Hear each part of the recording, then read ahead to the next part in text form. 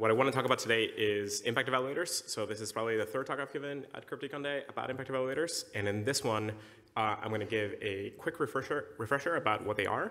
I'm going to walk through kind of like a set of instructions for how might you uh, design an IE. Um, and then I'm going to give an example of the of an IE potentially that could be used to incentivize and reward the Saturn Sunrise program folks.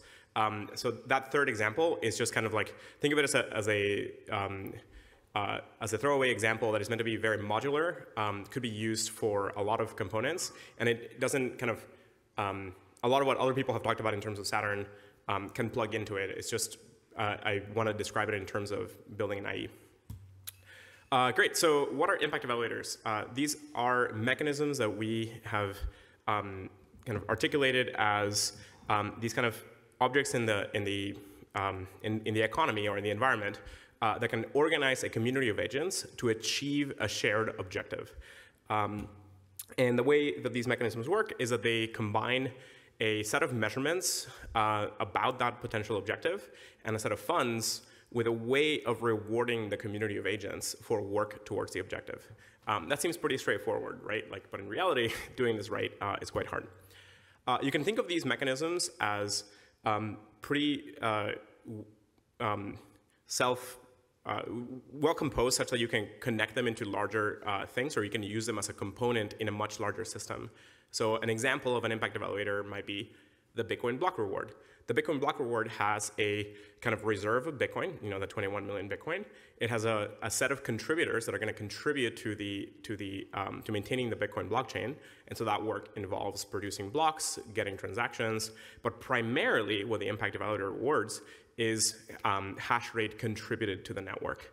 Um, then the impact evaluator needs an evaluation function. That evaluation function, in the case of Bitcoin, is measuring over time how much work is being contributed and what your share of work contributed is. So um, this is where uh, I think impact evaluators were kind of hidden in, in uh, uh, the, the, way the block reward in Bitcoin is built is not very straightforward in that that evaluation function has to do the kind of difficulty adjustment, like that two-week period difficulty uh, readjustment, and it has to measure your contribution based on like the proof of work thing of like the, that number of zeros that are leading in a hash. So it's kind of like a very roundabout way of just assessing how much hash rate you're contributing to the network. Um, and then you get your reward, which in Bitcoin's case is, is the Coinbase transaction, where like you know you as a miner um, get to uh, mint some amount of Bitcoin, and you subtract it from the reserve and you give it to uh, give it to the miner. So it's an example of an impact evaluator. Um, the Bitcoin um, block reward is perhaps like the most uh, common example and that a lot of groups might know, uh, but the Filecoin block reward works in a similar way. That's a more complex impact evaluator because again, it has a reserve, um, it has a set of contributors, it has an evaluation function, but that evaluation function is more complex. It includes um, it's not about hash rate, it's about capacity contributed. Um, it has to account for a large scale proof of replication to know that capacity has been contributed uh, well. And it also gets tuned with the kind of baseline minting um, uh, function, so that kind of uh, factors in as a part, plus the Filecoin Plus uh, component, which kind of scales the multiplier for once you use data. At the end of the day, it's kind of like this larger impact evaluator that is um, you know, rewarding the success of, success of Filecoin. Um, you can think of impact evaluators as a control system uh, loop. Uh, and so you can think of kind of these, these mechanisms that you can use in kind of control theory with uh, some component that is uh, providing some um, input to, uh, to the system. The system kind of behaves in some way. There's some sensor that's evaluating and measuring the system, and that feeds back into the controller, which then decides some other, some other component. And so think of using impact evaluators in this kind of control uh, theory sort of way. Uh, it's an interesting side note. I was giving a version of this talk uh, last week at Funding the Commons, and someone pointed out that there's like this Nobel Prize winning economics result about how you can't possibly do this in economics. And, but it turns out that the, the key uh, component in that result is that you can't do it because normally these things get instantiated by people, and people cannot be trusted not to change their mind, and cannot be trusted not to go back and unwind the mechanism. So critically here, uh, two in interesting insights. One, we might be have a way of like working around that really big result um, and be able to kind of create a, a construction that is um, where the mechanism is just kind of in the sky and you can rely on it. Um, and two, that means that it's uh, probably a whole swath of um, areas of, of, economics might be ripe for uh, revisiting with these kinds of tools. Uh, so I'll leave that as a, as a future exercise for all of us to do. Um, uh, so that you know it's pretty interesting, pretty promising, and, and it's kind of crazy that like you know it sort of like took Bitcoin uh, appearing and um, you know cryptography uh, de deploying these like large scale networks to be able to kind of um, go back and, and kind of create these systems. Um, so the way that you want to think about these impact evaluators, uh, or like kind of a, another view into it, is that you know think of dividing up the time into some set of periods. Um, think of uh, for each you know in that for each period or for each round, you're going to measure the world, um, and that measurement of the world has to include the work that participants are doing towards the objective. Now, of course, you can't measure everything, so you want to be selective about like what components you're going to be uh, extracting. You then want to um, evaluate those measurements in terms of like uh, what the contributions were from the different participants. Uh, and then you want to use those kind of the resulting weights in a sense to then feed into some kind of reward function. Now, you, in any kind of implementation of an IE, you might not see the actual kind of code or implementation follow these kind of three steps um, because they might be blended in some way. Um, you know, so maybe the way in which you measure something gives you the, the actual weights right away, or maybe the way in which you evaluate things um, like directly mints the reward. So in Bitcoin's case, the evaluation function just gives the reward to one miner per block. But in expectation, you get this behavior, this behavior of like overall measurement, overall proportional reward, and, and so on. But basically, this kind of like what's happening on expectation each round. Um, and one important component here is that evaluation does not need to be um, programmatic. So a way to feed this uh, into human judgment might be a way to kind of call out to, you know, once you've measured things, call out to some other set of processes, then evaluate the, the, um, the measurements and produce some output that then gets fed back into the, into the impact evaluator. So this might be a way of like hooking up a smart contract to some much larger scale processing system, like, you know, large scale computation, or um, people, right? They can feed in people into the loop here. Um, to uh, tweak the to, to kind of like tune what the what the reward function should be. Uh, you can model the kind of um, the retroactive uh, experiment from Optimism, I think, as a, if they had kept it going round after round after round, um, you can think of that as an impact evaluator um, that kind of can, could run on chain and still factor in human input into the into the system. Uh, cool. So one other neat thing about these things is that you can think of them as valves in a network. So, so not just kind of this uh, control theory loop, but you could actually think of it as a valve where you have an inflow of money, you have an outflow of, mo of money, and the sensor tunes the redistribution of that inflow to outflow valve, right? So you can think of that component as a pretty flexible structure um, that could be fit into a system. So most IEs right now are just kind of these reserve-oriented IEs. You pile in the money first, then kind of it gets released out. But you could couple this kind of thing, not just as, in terms of, a, of like a stock of, of um, uh, of some currency, but in the flow of some currency or the flow of some transactions. And so that gives rise to much more interesting components where you can wire up like lattices of, of these, me these mechanisms and kind of couple the, the inflows and outflows and so on. Um, and so that's, I think, how you can build much more sophisticated things. Like, because uh, you know, in the Saturn example that I'll give in a moment, you can think of like parties hiring the Saturn network, and when they hire the Saturn network, they pay the Saturn network. But when they pay the Saturn network, that payment comes into an IE, and then kind of that becomes flow that gets distributed out to, uh, to the users. Uh, another component about IEs is that uh, they don't have to be zero sum. Um, well, definitely they shouldn't be negative sum. That would be a bad, bad way of grouping people to achieve an objective, but they should definitely, you could start making them not just positive sum, but you can make them uh, potentially, ideally kind of Pareto efficient or, or Pareto um, preferred, where everybody's kind of like winning by collaborating. And a way of doing that is that you could just kind of like release rewards um, in a superlinear function relative to the impact of the KPI, right? So uh, in a sense, this is how, um, kind of like how the baseline uh, mechanism ends up working out in, in Filecoin a little bit, where there's like a slight superlinearity there, where uh, parties working together um, end up kind of um, uh, receiving more um, as, as, a whole group. Uh, however, this could probably be stretched uh, much further. So th this is kind of an interesting component. You have to um, prevent incentives to create Sybil identities, um, but this might be like a pretty interesting way to mix this with something kind of like, um, yeah, all the kind of like hard identity uh, uh, uh constructions and so on to be able to um, provide a very, very strong incentive to collaborate. Um, maybe quick, uh, is this what I'm saying here like clear or um, never quite tell if my explanation here is, is like obvious. Um, okay, cool. So yeah, you definitely want to avoid the, that and you want to get into Pareto preferred outcomes. Um, yeah, I don't know what happened there. Cool, so how to design an IE. Uh, I'm going to go through a few steps of how we might do this, uh, and then I'm going to give you an example with uh, Saturn. So first off, you want to identify the objective. Like before you think about incentives, before you think about rewards and so on, what are you trying to do? Um, what, is the, what are you trying to convince a group of people um, to work together towards?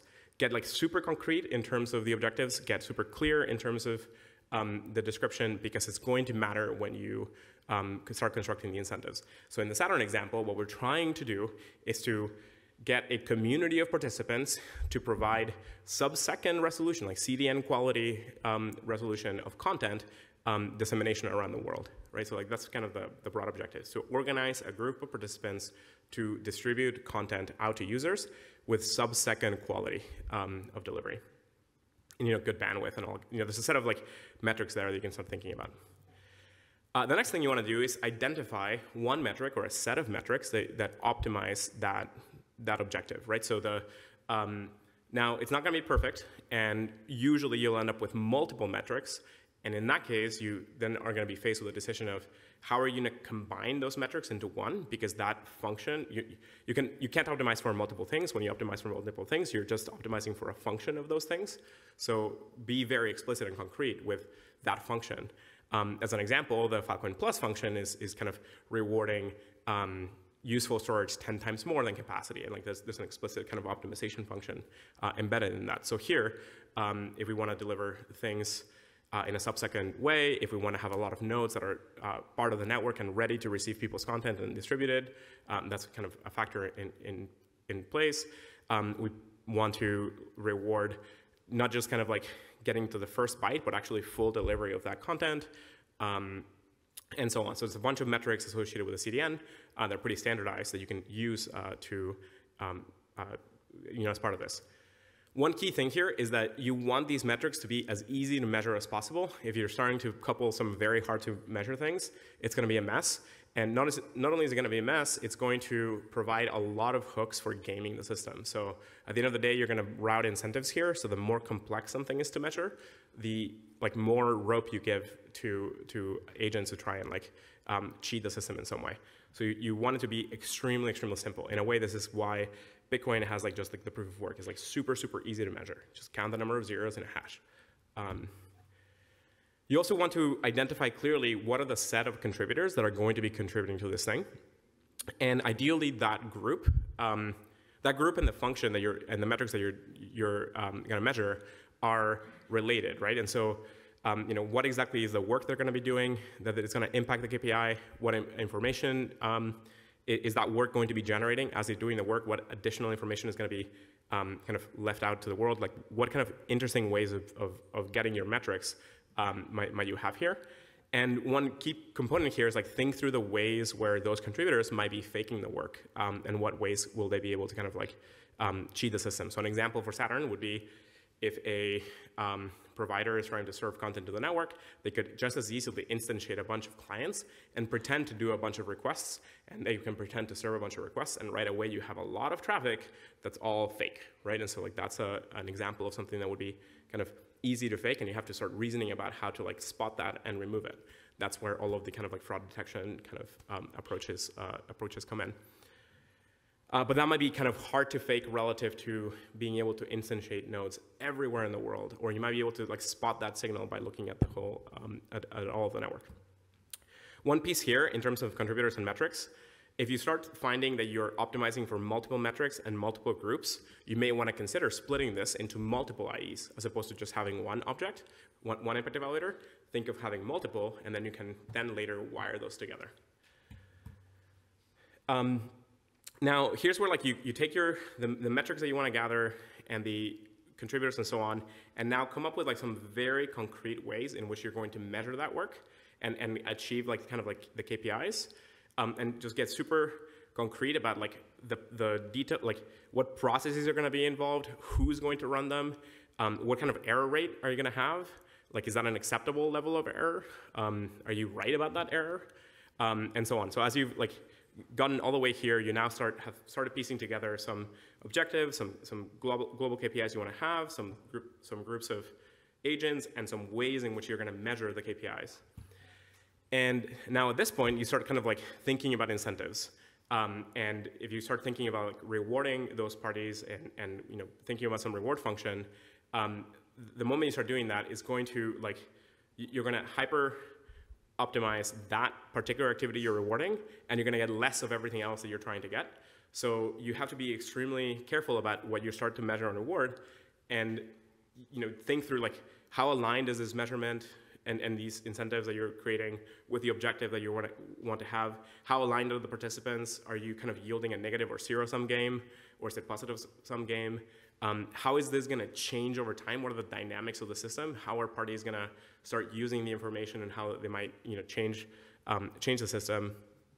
And uh, what are the kind of like relevant strategies they might have?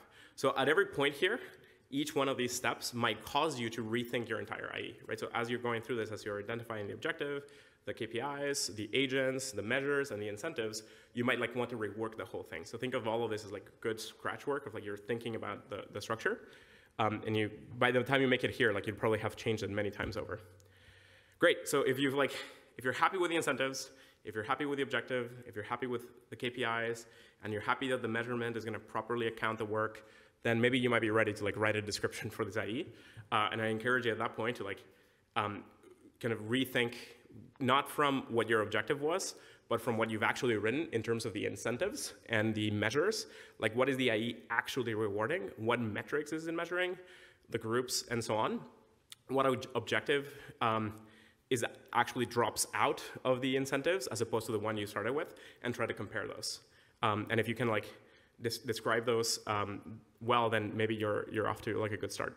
Um, and then you can want to try and like message it in some kind of like very crisp short, inspiring prose, because if you want to convince a large network of agents to actually do this, you're going to have to be able to describe your, your um, KPIs and incentives and so on in very short sentences. In very short sentences, they're going to be translated to many languages, and they're going to be spread through the internet, right? In, in the case of Bitcoin, it was like provide some um, computing resources, mine some blocks, and get some money, right? So in, in Saturn's case, you want to get to that same kind of uh, quality where it's like, hey, um, add some, you know, share, deliver some content, share some bandwidth, and get paid.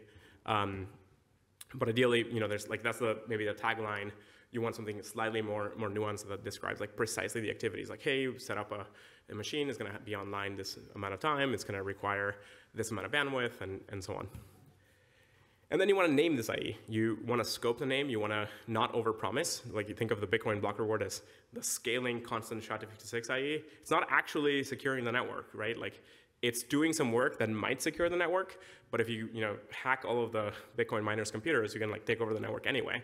So, you know, good job, you got a bunch of SHA-256 hashes, doesn't matter. So like the IE, IE in Bitcoin is not actually securing the network, it's just creating a bunch of work. Um, the same, same thing with Filecoin's block reward. It's scaling the storage capacity and deals being made. Are those deals like really valuable data? Is that like really useful kind of adoption? That's a separate question, right? Like the, the IE isn't good enough to be able to like um, quantify that. You know, and, and, and hopefully like, you know, these are not good, very good names. They're not like super catchy, but they certainly don't overpromise. So you want to kind of like tune those, those two. You, you know, like kind of, don't, don't overpromise a thing because you're going to confuse everybody, um, but you definitely want to make it something catchy. Cool, so now I want to kind of walk through an example with um, Saturn IE, and we're going to do this together with a notepad. It's going to be awesome. So suppose that you have a contract uh, somewhere in the world, and we're going to have some like um, reserve, and so this is like um, you know some amount of FIL or something. Uh, here I'm going to uh, I'm going to follow kind of like the Go notation where you have like the variable and the type, if that's okay with folks. Um, uh, and then, and so we're going to be able to load this with some reserve amount of, of money that then is going to be distributed out to, to the world. Now, we want to have some participants, um, and so these will just be addresses. Um, So this is going to be a set of addresses, uh, a set of parties that are going to be um, part of this, um, this IE. Uh, we also want to um, track a set of measurements. And here is going to be a, um, uh, a double set. So one part will be a set of rounds. Um, actually, let me, I'll, I'll make it maybe, this will be nicer.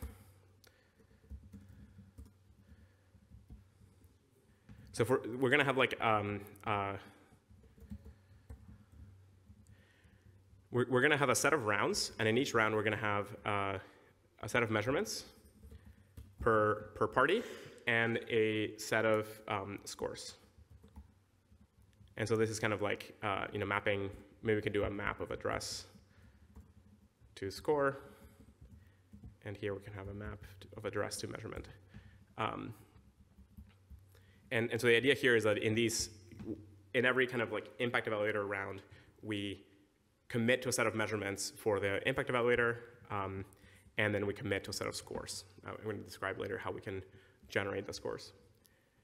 And let's see, do we need anything else? Ah, yes. So in this one, uh, we want to be able to run the computation in a private setting. Why a private setting? We're going to apply, um, say, fraud detection and fraud detection algorithms. You want to be careful about the fraud detection algorithms because if you describe them to the world, then that just makes it that much easier to cheat them. Um, and but and, and so you might want to have like sort of like hide the algorithm. And you know, ideally, all of these would be public, and we can probably get there. But let's just suppose that we start, start with private uh, information. I just want to have that as a part of the example so that you can see how zero knowledge or multi-party computation can fit into the system. Um, so we have some like algorithms we're going to run as part of this IE that are going to decide, based on the measurements, what score the participants deserve in that particular round. Um, but the way that we're going to run them is we're going to have a set of evaluators. And so that's just a set of addresses um, that are going to sign off on some evaluation. Now, that looks very similar to just a multisig. Could that be a multisig? Probably. Um, it could also just be another contract. So this could actually be simplified to just be a single address, where using you know, smart contract niceness, you can kind of decouple that entire component and have it as a separate um, as a separate thing. And so we can say that there's like some evaluator which can be instantiated by a group of parties, um, those parties, or you know, a whole other smart contract. And let's see, do we need anything else? I think that's about it. Great. So the way this is going to work is that we're going to define a particular period. We probably want to, whenever we instantiate it, we want to, um, depending on how you want to keep time, you want to describe this as like a number of block times or number of days or something, the, the way that you write the code is going to, of course, like change this. But let, us say that this is like, um, you know, we're going to describe this in terms of a number of blocks. Um, so far, so good. Raise your hand if like you're following so far. I've, uh, okay, great. Um, so now let's say that we want to be able to, you know, enable anybody to to add themselves as a participant. So we're going to have some, um, you know, add participant um, thing uh, where like whoever sends the transaction gets added as a participant, and you know you, you also can remove yourself. So suppose that that is a way of like editing this set of participants.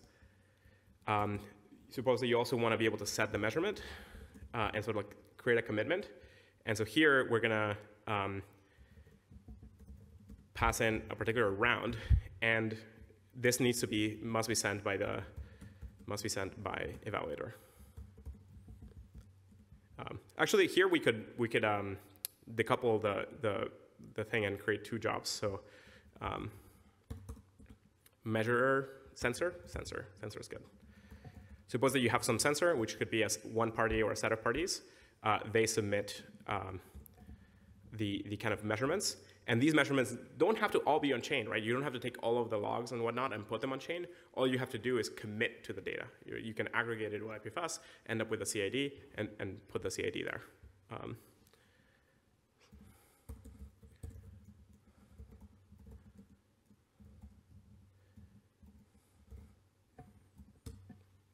Um, now, of course, like this, you know, important bits, like this must be sent by a sensor, but it must not happen after, um, you know, let's say we have to keep track of like the current round, uh, round period, current round, and uh, must not happen after after a round has passed. So you have to like be careful to check that.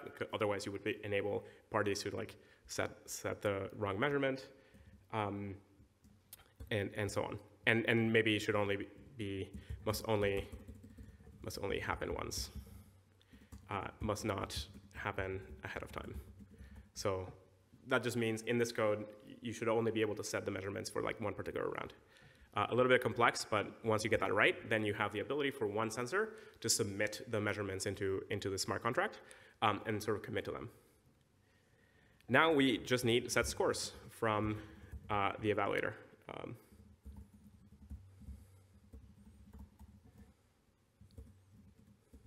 and so this one, you know, must only be sent by evaluator uh, must, and the same thing, must not happen after the run has passed, must only happen once, must not happen ahead of time.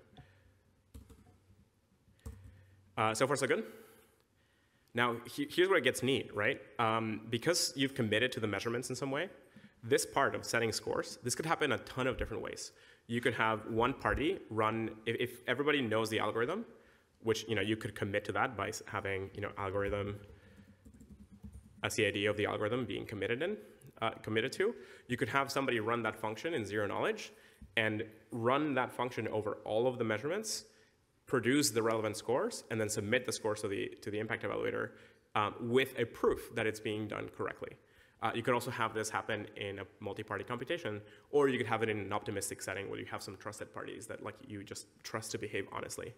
Um, but the point here is that you can entirely decouple that from the design of the IE and just worry about that in the implementation of this, of this, of how you want to run this function and how the evaluator uh, works, right? So the evaluator could be just a multisig that a, you know, set of parties control and submit that.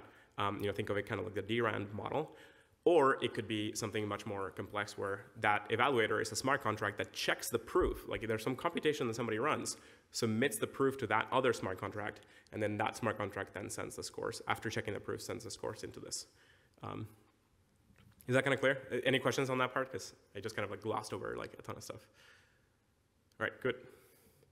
Uh, and then lastly, you can just kind of like run the impact evaluator once the scores are done. You could theoretically call this right after setting scores, uh, or you could have this be run periodically at a given moment in time if your blockchain is advanced and has something like cron.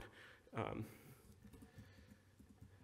so you know, if you know this just takes the latest measurements, um, uh, in you know takes the late, latest round, takes the measurements, takes the score, and then calculates the the um, the the relevant kind of weighing based on that score, you know, what, what amount is going to come out of the reserve.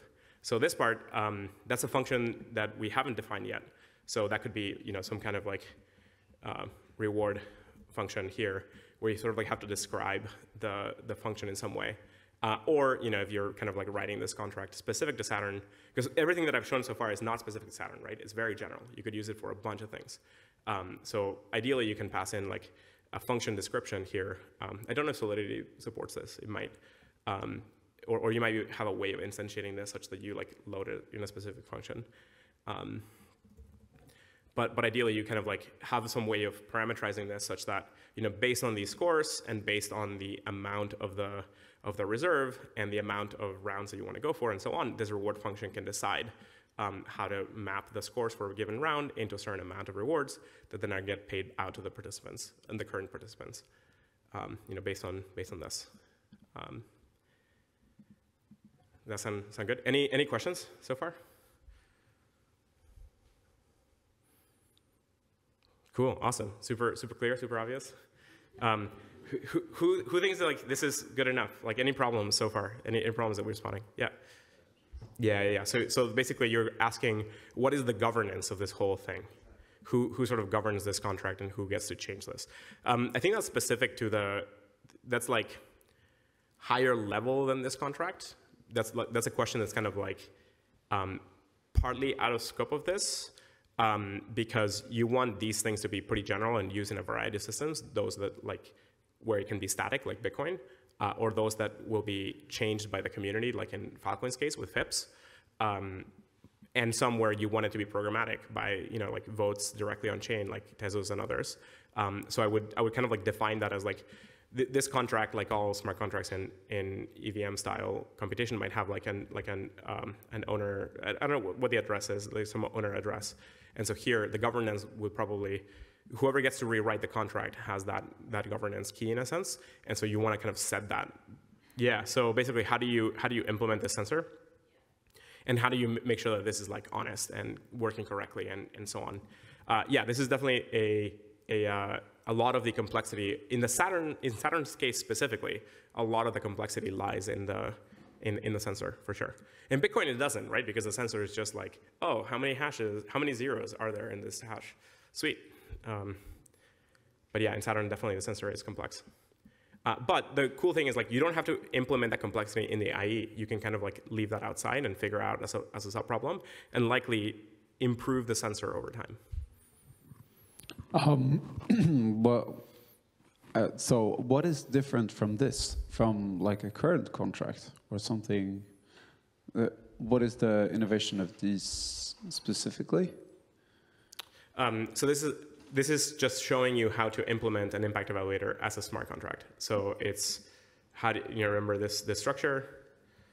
Um, like why? Okay, why are you um, focusing on them and not a, another evaluator? Like, have you looked at other evaluators? No, so I'm just giving you one example of mm. an impact evaluator implemented in a smart contract. So I'm just choosing to give you this example. Okay.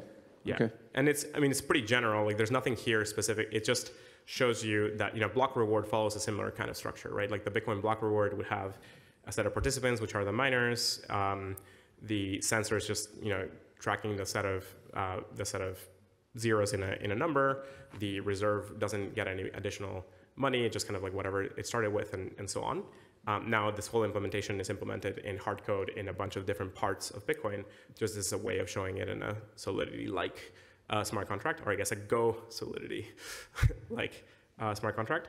Um, the other thing I would add here is like, oh yeah, one, one thing I forgot to mention, this reserve, it doesn't have to be a reserve. You can send money to the smart contract and add it to the reserve, right? So you can pay the, you can pay the Saturn network for service, and when you pay the Saturn network for service, its reserve goes up as an example. So this is an example of that flow that I, that I described earlier, where it doesn't, it's not just the, the, the stock amount that you have, it's sort of like a valve over time. If it's succeeding, then it'll, um, the reserve will increase and, and whatnot. Thanks. Hi, it's Andreas from Legacy. So super, super stoked, super interesting. Um, we came up with two impact evaluators without knowing the concept. And uh, they're less technical, and I was wondering, you know, what, what, what your thinking is about that. One is, you know, we're interested in high quality content in our network, right? and so we basically want to do competitions, right? And so people submit content, you know, you vote over that, and then you say, okay, well, the best 10 people or the best 10 submissions get award, right? That one seems to be straight, pretty straightforward, I think. Uh, the other one, I think is more interesting, more tricky. So that goes actually straight into the governance. So uh, we're going to have a data DAO to basically run our network.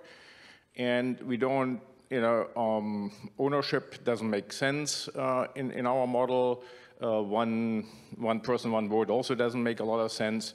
So the thinking is that we, our thinking was to say, well, you need to earn the right to vote by making meaningful contributions. Right, and so exactly, you know, you got to measure somehow the impact uh, you have, and then you basically get a voting token at the result for maybe a given point in time, uh, for a given period. All right, now, this I think where it's get really tricky, right? You know, how do you measure meaningful contributions? All right, so it's you know nothing really technical you can measure. Yeah. You know, it's not even like GitHub where you know you have a sort of formalized system. So it's it's you know, much yeah. more loose, right? You got any thoughts on that? Yeah, um, I mean, definitely. I mean, I think uh, as we were saying before, kind of the reward function and the, and the, how you evaluate the the contributions to a score or something like that.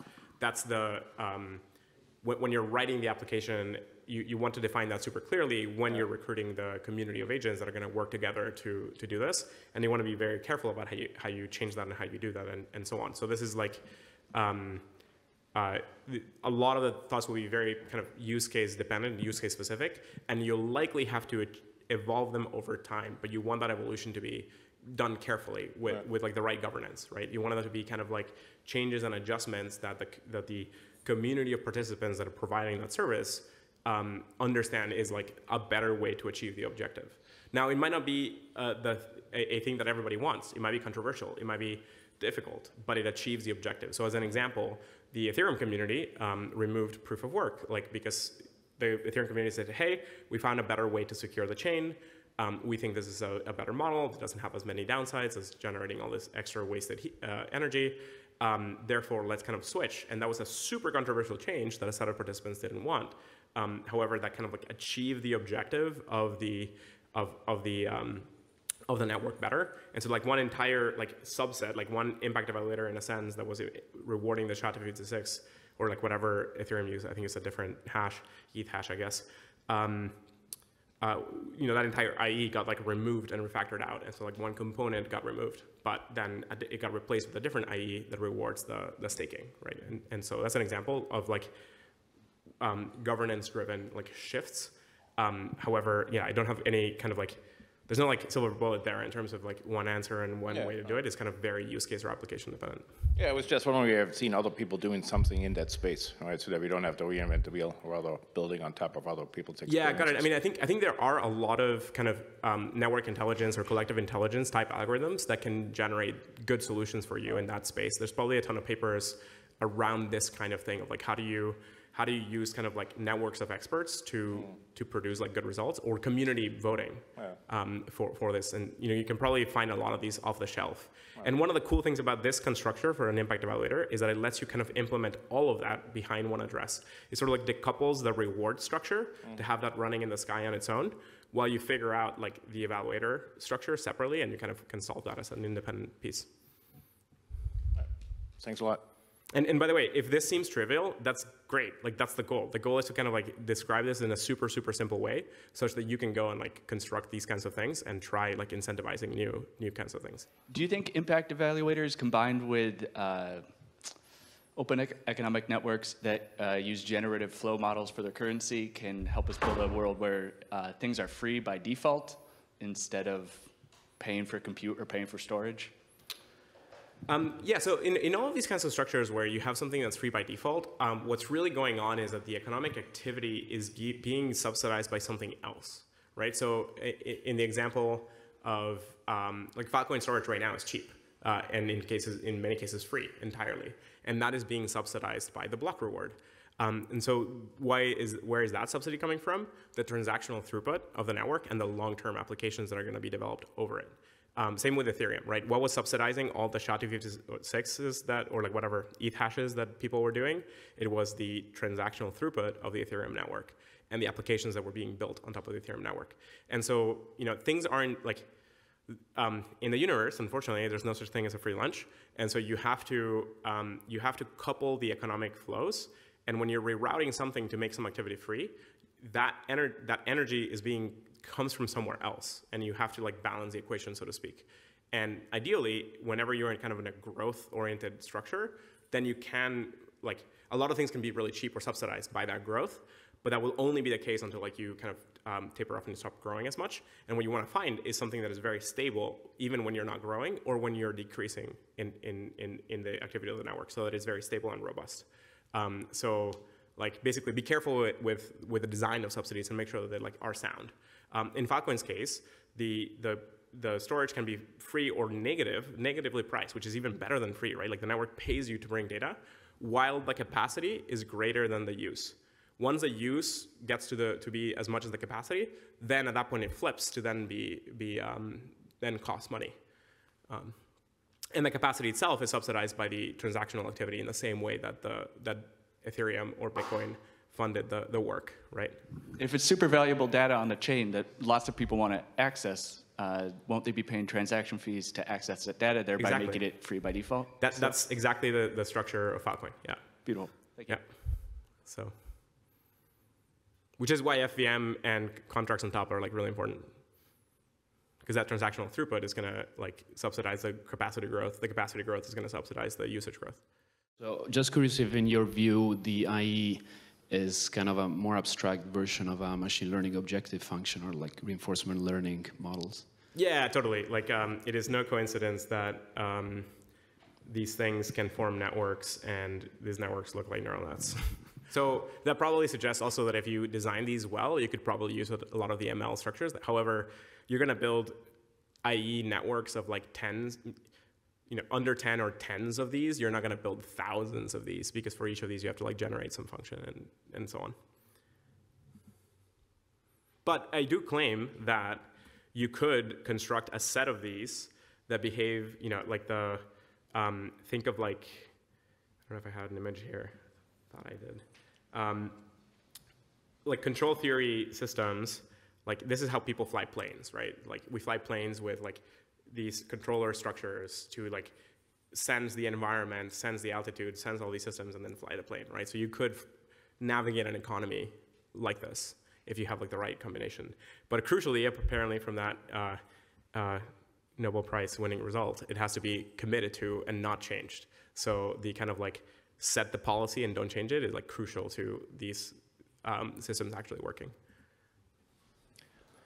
So in, in, a real use case, I mean, in a in a more uh, in an actual implementation of this, I would imagine there's going to be a lot of additional smart contracts that you have to call, and depending on the use case, you might need to do external calls to oracles because you have things outside the blockchain.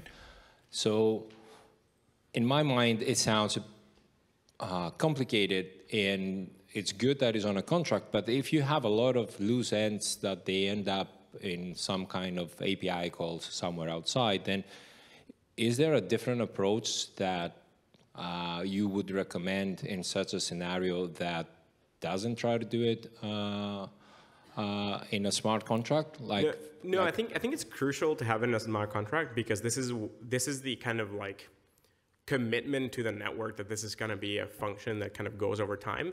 And the thing that enables a lot of parties to actually do the work is that this reserve is there.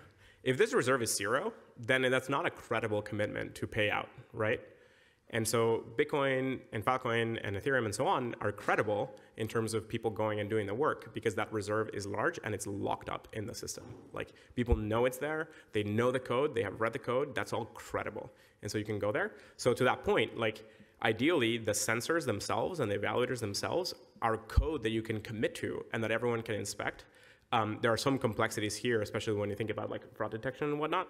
Um, but maybe you can commit to the function and then tune the parameters privately or something.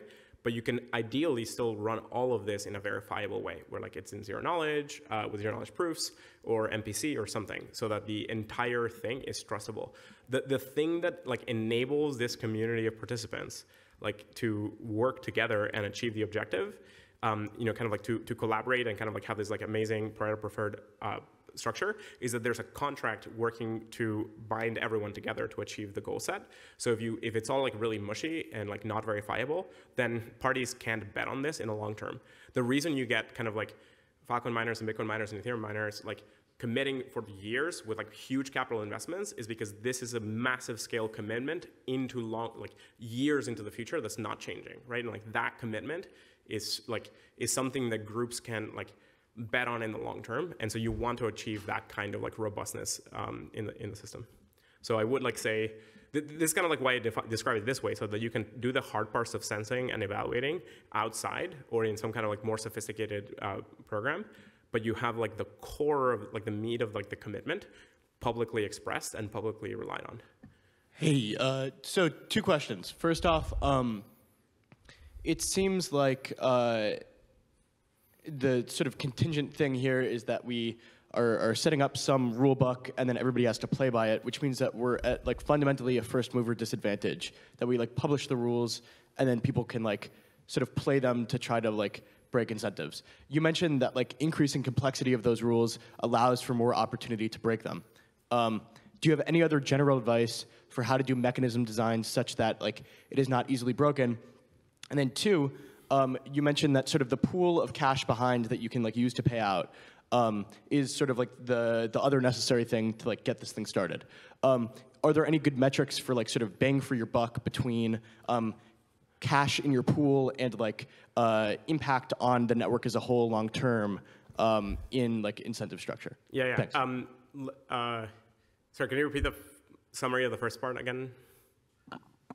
Um, yeah, how do you uh, how do you deal with the first mover disadvantage of people being able to break the rules? Like, what are what's your advice? so yeah. Especially for something complex like Saturn, where you're, the metrics are going to be fairly difficult to get, and you want sub-second retrieval, so you don't, can't like it's like a two-party transaction, and you can't throw in another party to inspect the thing and so on. Um, then you are going to have to be tweaking the structure and learning from the system, and so the first like a lot of the first rounds will have to like evolve into the right structure. Um, and it's, it's something much harder to incentivize than, than like just like the proof of, proof of work reward of Bitcoin. Um, so I would say like that just kind of comes with the territory of building this new network. Um, the benefit is that when it's early, a lot of the participants get to split like split some reward with like less participants because there's just a lot less other groups to compete with. So there's like some utility there. Um, and so over time, kind of the the there's a kind of like a meta optimization here of like the, the system itself like arriving at like the right way to measure the thing. Um, so that's kind of what I would say. There are disadvantages on both sides, both in the like joining the network um, early and in designing and trying to run the network early. Um, and hopefully you make it up by um, by having like just stronger rewards for all groups uh, involved. Now, the, on the second question of like, hey, how do you know that you're paying for the right reward, right? Like, how do you know that like your your um, evaluator is doing well? So the simpler it is, and the more coupled with like what you're measuring, the the better. Like, um, as an example, like um, say say the Bitcoin the Bitcoin hash rate like follows the the the price of energy and the amount of Bitcoin and, and Bitcoin's price really well. Um, if if like um, Bitcoin's price increases or decreases, you see a corresponding increase in decreasing hash rate, um, uh, and that's just coming comes from like uh, parties calcu- calculating ROIs. In Filecoin's case, you actually have to design against that because when you're storing people's data, you don't want people's data to like be, be lost. Um, so you, you, that's why like the entire collateral structure exists to kind of turn that very like fast moving signal into like a longer like time amortized signal where like you, you're kind of delaying the, um, the, the function. Um, but the kind of like the point stand is like you want to have a good sense of like the value that you're creating as a group and then factoring that in. So one neat thing for Saturn specifically and other things like it, if you take this valve approach, then you can sort of like imagine starting the reserve with a small amount of, of currency, like not a lot, as opposed to kind of like the traditional block rewards, and then factor in um, product demand, parties wanting to use the network and funding the network as the demand generator. So you can actually have a proper, proper regenerative finance type loop where the more value it's creating, the more money will come in and reward. And so the better the service is, the more customers will want to, to be attracted and the more money will flow in. And that way you can kind of like couple the, the, the service with what the customers actually want, as opposed to say the, when you just have like a huge subsidy with, without like relating that to the demand of the users, then it's hard to uh, like hard to cause whatever's being subsidized to actually meet the demand of the user, right? So so this kind of like valve structure, I think, will be much more successful to create these to coordinate these large scale networks to actually meet the, the, the demand and meet the market's goals. Um, I was thinking about that uh, Valve idea um, and the incentives behind more people joining because it seems in a decentralized environment, if no one owns sales, then sales won't happen. So how, how do you see that loop working? Yeah, I think I think you basically have to um, measure sales in some way and design an IE for that, and then have couple these into into multiple things, right? You sort of like have some val- some IE that's being that controls like the the intake, and then that splits like into kind of like sales and product development, and then um, the the work in, in in terms of the running the network and so on. And how do you set that? That's a hard question, and that's maybe for that IE to figure out maybe there are some like good uh, this, this is like a great question for like how do you run a, a service or utility like this in a public setting and kind of govern those those uh, parameters based on the actual real impact uh, that you're seeing? Um, so but, but i think like we're entering like a really neat design space. So like if we get like the ie for running the the, the Saturn nodes first working well then we can design an IE for running like sales in the product in a sense and get that working well. And then we can, once we have those, then we can design another one like sort of like couples between them.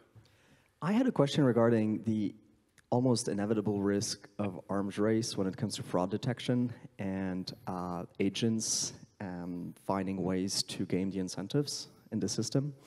And I had an intuition, and I wonder what's your take on it, that if there's some form of coupling between the governance function that, let's say, decides on the algorithm and the participants who, let's say, receive payoffs that determine that governance function, they could essentially, you know, be two kind of outcomes. One of them is they'd vote themselves the treasury, they'd vote themselves the entire reserve.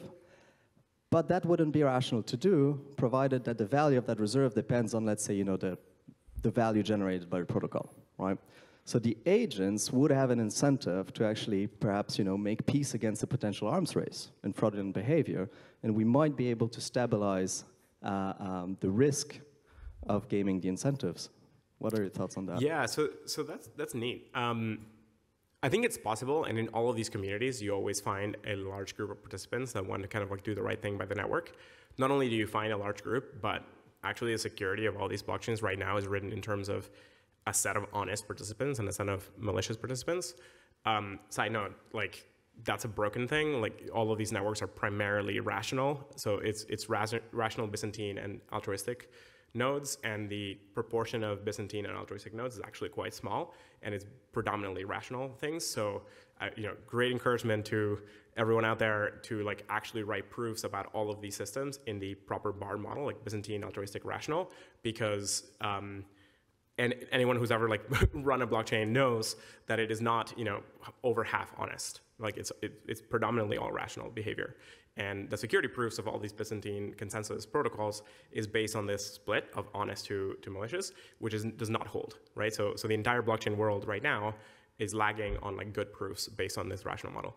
Now, the, the, to your question, which is I think really interesting, is like, can you create a, an incentive alignment there where parties know that the more they behave in concert with the objectives, not with the spirit of the of the contract, not just the the actual written code of the contract, like the laws of the contract, um, actually yields much better returns for them. Like, um, I think if you can't encode that into the rules of the system in some way, like you might have a meta way of doing that, where you can sort of track the track the growth or the or the like you can maybe track like how good the service is or how how like track ratings from from the users or the cu customers of this product and use that as a multiplier as an incentive um, setting where like um, that could be like super interesting, right? So when you do ride sharing with you know um, Uber or Bolt or whatever, all of those systems rely on star ratings that are very closely coupled to people's rewards, right? Like the higher the ratings, the more rides they get, the more money they make, and that's the user uh, providing some feedback into the system. Um, and so there might be a way of doing this here, where like the customers of the product can like produce ratings uh, and into the network that then come in as multipliers for all of the parties that were involved in pro providing that that uh, resource. I just I don't think that um, without some like incentives in code that actually change the ROI calculations, you'll get that behavior because you're, you're dealing with very large scale networks that are anonymous on the internet where defection is really cheap. And that's what's really cool about these systems is that you're getting coordination in kind of like the hardest setting possible um, and then building, you're being forced to build it out of like economic soundness as opposed to kind of like um, human contracts and like this kind of like broader expectation that parties will just sort of like agree to build a service. I think that's much more robust. And so I think solving it the hard way better it like yields much better systems in the long long term. Yeah, I had a question on the subsidies part that we talked about. So if you break the reward function by aligning the subsidies to some different mechanism, doesn't that break then the alignment with the KPI? Like the example of Bitcoin is a good example where whenever the um, Coinbase transactions start to run out, eventually, at some point, as people have kind of stipulated, there may be a breakage in terms of the security guarantee. So isn't that kind of going against the whole model to rely on a subsidy? No, I mean, I think, um, so, so in, in Bitcoin's case, it doesn't have this like neat alignment of of um, of the value. So, so a few thoughts here. One is um, this is why in Filecoin we have uh, baseline minting, where there's a the the protocol defines a certain expected amount of of capacity growth in the network, and if the network is not meeting that, then the, the proportion of the reward that gets given decreases. So there's a, a function encoded into the system as to like what the system expects to be doing. There's one example, but it's very crude. Ideally, you want something much more coupled to the customer demand and the customer utility as we were describing. So there might be better ways of doing that. Um, and I, I, do think that in general, creating a subsidy upfront and just placing it there is very risky and, and like more error prone especially in the long term, than having a flow and tapping a flow. I think tapping a flow is much better. The the counterpoint to that, though, of course, is that by by placing this big reward in the sky, um, people can it becomes really credible. It's not just a flow, and people don't have to bet that this thing will actually work and the demand will come and the customers will be there. But it's just like it's a it's a treasure chest in the sky that if you do some work, you'll, you're going to get rewarded, and that's really powerful, right? So people could go and mine Bitcoin without caring about Bitcoin's future, and that was really really powerful in terms of recruiting a lot of work uh, for the network. And so just kind of like you have to, as a designer of these mechanisms and a designer of these products, you have to think about like which things you lean on. And maybe the right thing is to have like a large, a significantly large reserve that's there as a credible commitment, but primarily influence how much gets rewarded out based on the flow. As like good, like good work from that group should be increasing that reserve because the work is like spending less than the customers are bringing in, right? So think of it as like traditionally, of how you would traditionally think about a business or, or, or, a, or a company or something. Like you want it to be growing in terms of, of its utility uh, and, it, and its efficiency. So you could think of like a measure like that of like um, how much the, yeah, take, take, take into account like the, the change in the reserve itself of like how much is coming in versus how much is going out.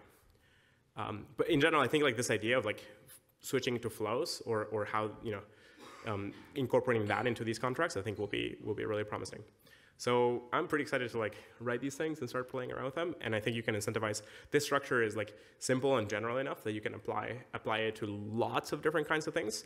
Um, so I look forward to like deploying a lot of these into into the network. Um, I do think like we have to solve like the running running the computations here in zero knowledge or in MPC or something so that this is like um, very very trustable. Great, thank you very much. Thank you.